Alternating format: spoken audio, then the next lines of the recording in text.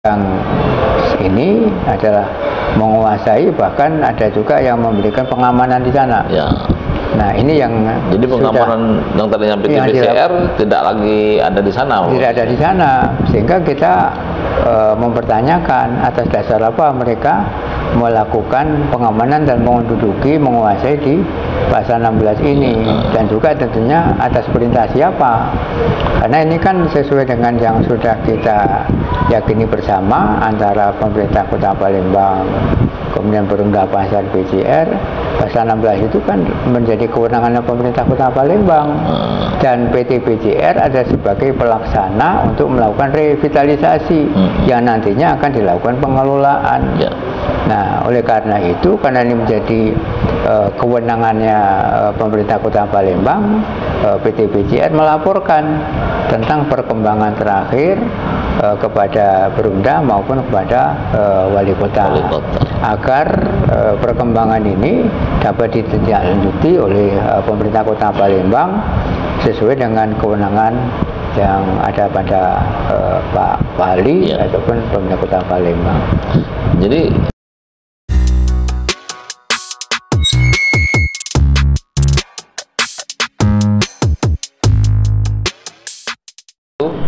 Waalaikumsalam warahmatullahi wabarakatuh. selamat malam berjumpa kembali dengan saya Muhammad Nasir di podcast ketikpos.com. Kali ini kita akan membahas terkait upaya revitalisasi Pasar 16 Palembang yang dilaksanakan oleh pemerintah Kota Palembang melalui Perumda dan Perumda kemudian menyerahkan HGB-nya kepada PT BCR.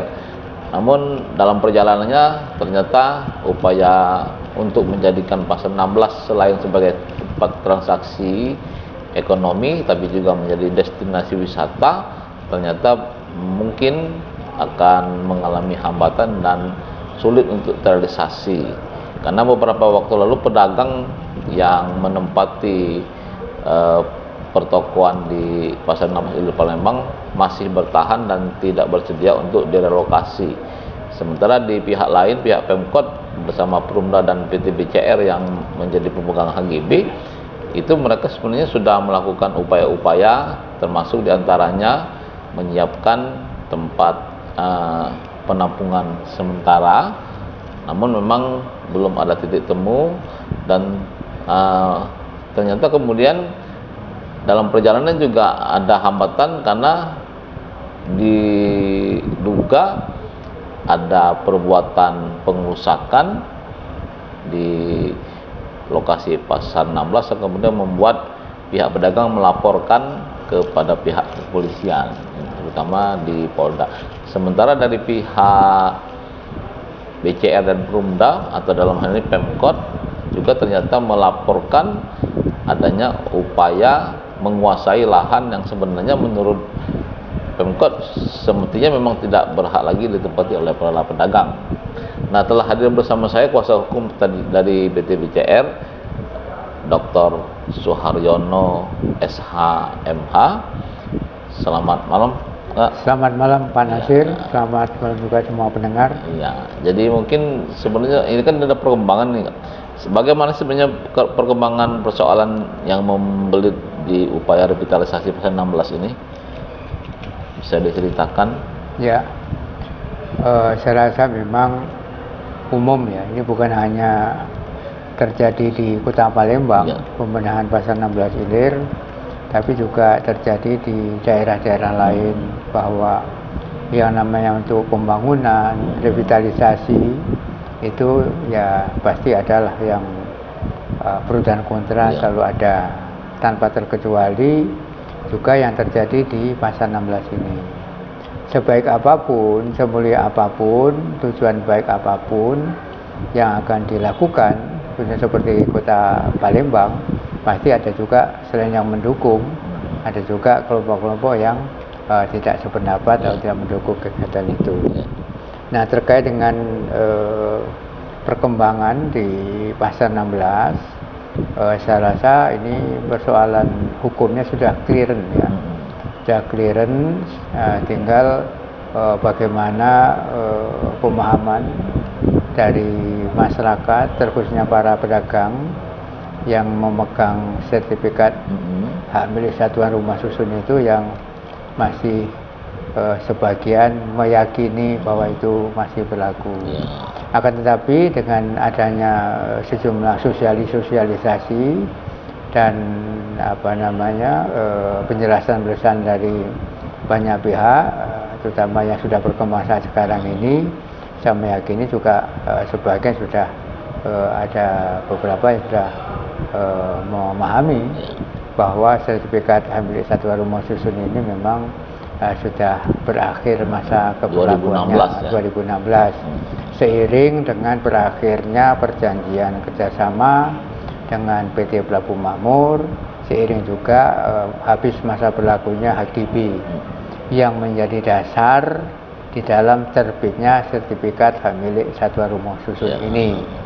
Nah, kemudian dinamika yang berkembang karena kemarin dari apa PT PCR yang diberikan amanat, yang diberikan tugas Ya, KGB. kepercayaan oleh pemerintah kota dan pemerintah pasar untuk melakukan kegiatan revitalisasi yang sudah eh, selesai di, di tahap atap, kemudian lantai 4, memasuki lantai 3. Nah, di sini yang eh, kemarin ada perbedaan pandangan. tiga dua dan satu dan basement ya Ah, tiga dua satu dan basement yang sudah dalam apa eh, masuk tahapan eh, pelaksanaan pekerjaan relokasi Iya. itu.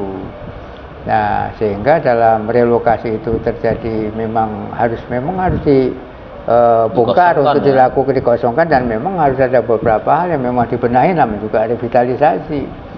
Nah, kenapa itu dilakukan malam hari? Satu memang mengejar ketertinggalan apa jadwal yang Lembur lah, ya. lembur.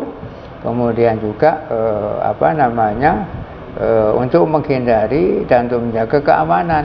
Tidak mungkin dilakukan siang hari karena juga nanti ada beberapa pedagang dan sebagainya itu. Nah itu yang barangkali eh, belum tersosialisasi dengan baik kepada para pedagang dan juga terkonfirmasi dengan sempurna barangkali seperti itu sehingga terjadi perbedaan pandangan seperti itu. nah jadi pasca dilaporkan itu artinya sekarang terhenti ya revitalisasi Nah, yang ini makanya eh, dengan adanya laporan, laporan itu kan ada dua yang disampaikan itu. Yang pertama katanya selain pengerusakan ada penjarahan. ya Nah, kalau tindakan yang melakukan pekerjaan di malam hari itu, itu adalah pekerjaan atau bagian dari pekerjaan revitalisasi. Nah, tapi kalau memang katanya ada penjarahan, saya tidak akan menyampaikan menanggapi hal ini karena ini sudah dilakukan proses di Proses Polda. hukum, Ya kita tunggu saja Hmm. eh, bagaimana hasil proses di Polda. Kita hormati langkah-langkah hukum yang dilakukan oleh para pedagang. Kemudian kita hormati juga proses hukum yang ada di Polda dan nantinya kalau memang ada eh, apa eh, petugas-petugas dari BCR yang akan dipanggil tetap kita akan hadiri untuk menyampaikan penjelasan dan keterangannya. Ya, sesuai kita hormati yang sesuai dengan ya. ya seperti itu. Hmm, kalau katanya informasinya akan ada pertemuan di Komisi 2 DPRD itu ada titik temunya juga atau ada kesepakatan Ya, nah jadi eh, pertemuan yang terjadi atau rapat yang terjadi di eh, Komisi 2 eh, itu pasca DPRD ada laporan itu ya, betul. Pasca yang di DPRD eh, Komisi 2 DPRD Kota Palembang adalah sebagai respon ya wakil rakyat atau kelembagaan DPR atas kunjungan dua anggota dewan itu. Oh. Ya ya dari up ya, ah, dari itu. dari Golkar kalau tidak salah ya Pak Hidayat kemudian dari Partai Gerindra ya Komisi dua itu Pak ah, siapa itu Abdullah Taufik kalau tidak salah ya nah kemudian eh, dilakukan apa undangan rapat yang diundang adalah eh, termasuk Pak PJ Wali Kota kemudian para pedagang eh, PT BCR kemudian apa namanya Perumda Pasar dan eh, apa namanya eh, organisasi perangkat daerah ya, OPD OPD, OPD ya. oh, berarti. PJ Wali Kota hadir ya waktu itu Eh, kebetulan PJ Wali Kota nggak hadir karena Hadir. ada eh, kepala tugas lain kalau ya. Nah seperti itu. Nah di dalam forum rapat itu tentunya eh, Dewan memfasilitasi untuk coba mendengarkan eh, apa yang terjadi, bagaimana eh, sampai terjadi laporan-laporan yang dilakukan oleh pihak P3SR ya SRS dan juga eh, meminta eh, penjelasan juga dari PT PCR ya, yang dilakukan termasuk dari Perumda Pasar. Ya. Nah, eh, memang pertama adalah diberikan kesempatan dulu Hmm. kepada apa P3 SRS Ya. untuk menyampaikan apa apa yang ingin disampaikan dalam forum dewan. Nah, diwakili oleh eh, pengacaranya atau kuasa hukumnya Pak Edi Siswanto ya menyampaikan bahwa eh, akan dilakukan rapat ini eh, memberikan persyaratan ataupun ya ya persyaratan lah ya meminta agar forum ini bisa mengakui Oh. Ah, Sebelum bahwa- dilang- dilanjutkan ya. ya intinya seperti itu jadi minta pengakuan bahwa SHM SRS itu masih berlaku nah sepanjang ini SHM SRS ini dinyatakan berlaku dalam forum rapat ini kami bisa ikut rapat Hmm. nah akan tetapi kalau memang tidak ada pengakuan ya tidak ada gunanya kami rapat Ya. Nah, intinya seperti itu dengan berbagai Argumen. penjelasan dan argumentasinya, tapi substansinya adalah seperti itu. Nah, oleh karena itu Pak Taufik dari anggota dewan pimpinan rapat kemudian memberikan kesempatan Hmm. kepada Perumda Pasar untuk memberikan eh, tanggapan apa yang dikehendaki, Iya, yang dimintai penjelasan oleh eh, dari P3 SRS ini.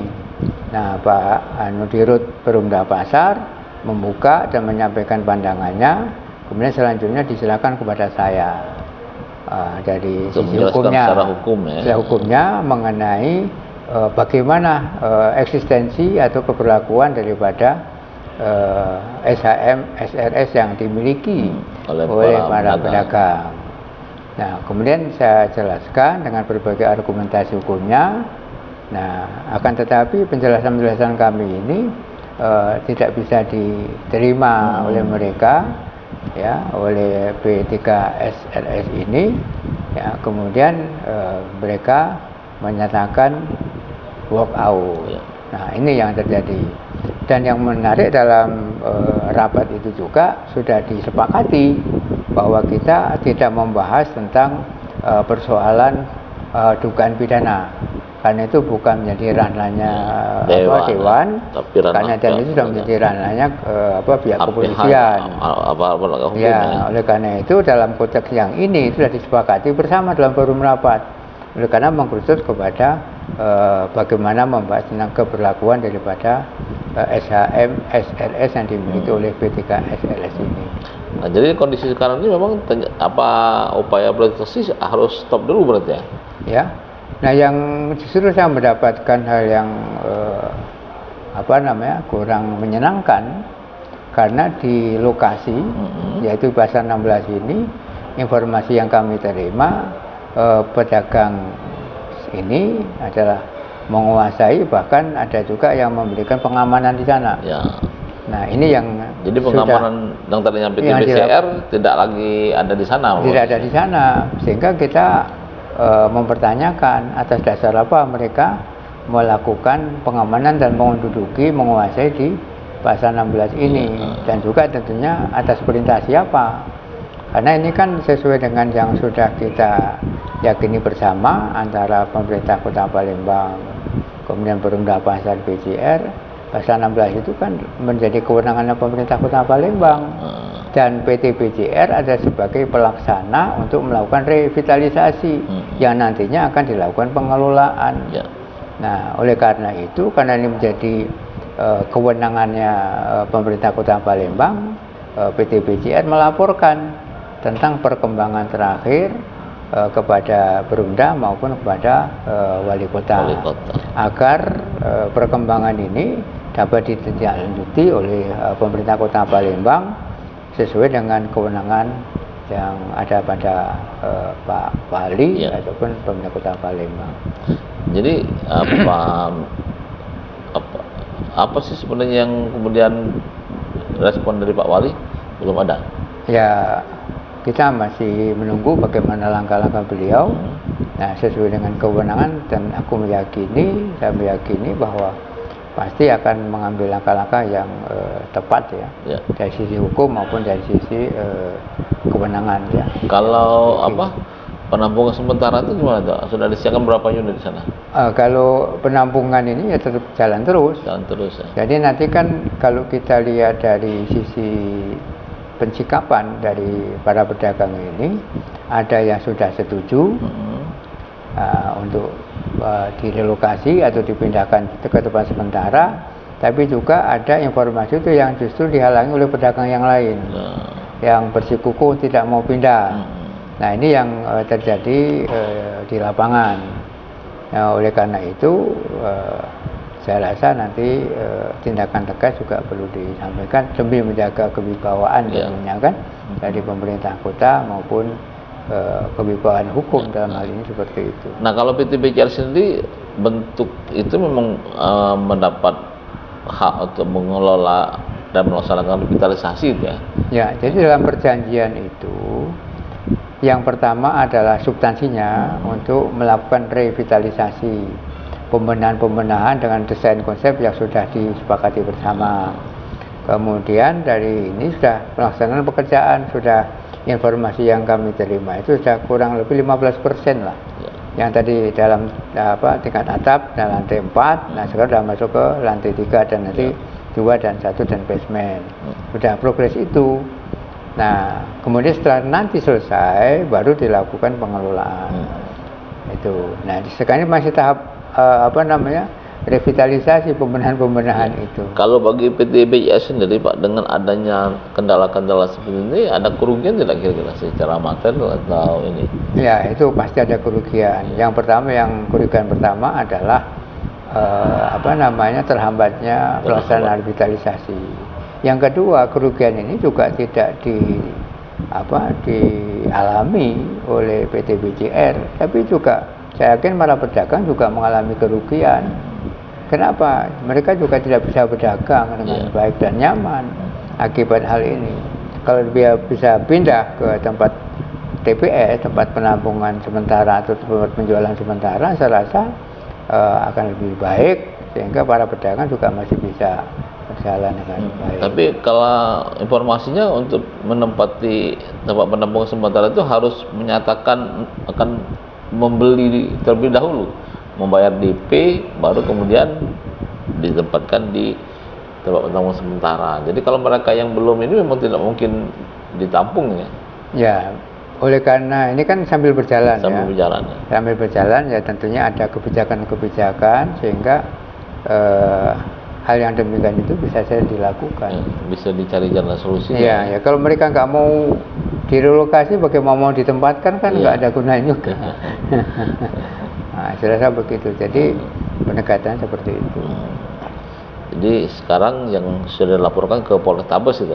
Nah, jadi eh, kita sudah melaporkan ke Pemda Pasar dalam hal Hmm. ini sudah melaporkan ke Polrestabes kepada eh, sejumlah pedagang ya Mm-mm. yang melakukan eh, apa namanya menguasai, menempati maupun menghaki eh, bidang tanah Hmm. yang berupa kios-kios ada bangunannya kios-kios itu yang tidak mau keluar itu. Iya. Padahal haknya itu tadi kan sudah Pidana berakhir itu jadinya. habis ya pidana. Tapi kalau biasanya menyangkut bangunan dan itu kan biasanya perdata tuh, atau memang bisa pidana juga? Ada pidana juga Ada kan, bisa kan pidana. tanahnya yang itu aja kan di atasnya kan ada bangunan. Iya ada bangunan. Ya, jadi itu melekat lah. Nah, bangunan dan tanah kan melekat. Tidak mungkin bangunan akan gantung tanpa ada tanahnya. Iya. oke. Nah, Ada lagi mau disampaikan terkait ini? eh, saya rasa eh, yang penting bagaimana koordinasi kerjasama dengan para sejumlah pedagang, bagaimana kita mendukung Mm-mm. kebijakannya. Revitalisasi itu sesuatu yang tidak bisa dihindari. Iya. Karena secara apa namanya bangunannya, buildingnya ini memang juga harus segera dibenahi dan juga lingkungannya perlu ditata. Iya. Nah, tinggal kesadaran kita bersama, ayo ikuti eh, kebijakan-kebijakan yang ada. Nah, kalaupun ada perbedaan pandangan ya boleh saja dikomunikasikan Mm. Eh, dengan pemerintah Kota Palembang, dengan Pemda Pasar, dengan PT BCR, yang masing-masing lembaga ini memiliki batasan kewenangan Iya. Dan mungkin akan ditimbangkan semua ke PT BCR Iya. atau Pemda kalau Iya. memang itu eh, bukan kewenangannya. Iya, Jadi masing-masing memiliki kewenangan yang eh, berlainan Hmm. dan begitu. Ya, tapi artinya kalau memang tidak ada titik temu barangkali juga tidak bisa terlaksana ya, ini revitalisasi. Itu memang harus ada nanti apa namanya? Kan kemarin sudah ada ada deadline-nya, deadline Ya. mereka mengosongkan tapi sudah lewat juga tapi ternyata mereka masih Oh. juga menepati. Kalau yang ini tentunya eh, kan ada pendekatannya. Iya. Ada pendekatan hukum dalam artian hukum per- pidana perdata. Mm, Nanti kalau memang ini, yang kedua ya pendekatan kewenangan. Iya. Nah, pendekatan kewenangan ini kan eh, Pak Wali Kota juga punya kewenangan Iya. sendiri sebagai Wali Kota. Mm, Perumda Pasar sebagai apa pemilik tanah juga punya kewenangan hukumnya sendiri. Nah, ini tetap jalan. Saya kan meyakini bahwa revitalisasi ini akan tetap berjalan. Iya. Nah, hanya ya namanya hambatan-hambatan selalu ada dan itu akan eh, selalu dikerjasamakan dengan sebaik mungkin sehingga eh, kesadaran di masyarakat itu juga tetap perlu Iya. diperhatikan. Oke. Mungkin kalau barangkali informasi yang bisa disampaikan tentang perkembangan upaya revitalisasi Pasar 16 Palembang artinya mungkin nanti kita harapkan bisa terlaksana dan eh, menjadikan Pasar 16 bukan hanya tempat transaksi juga destinasi wisata juga akan bisa terrealisasi. Dan ekonomi pasar 16 terutama dari para pedagang bisa berput- bergerak lagi itu yang penting. Iya. Silakan minum, Pak. Oke, Nah, terima kasih. Demikian, Assalamualaikum warahmatullahi wabarakatuh.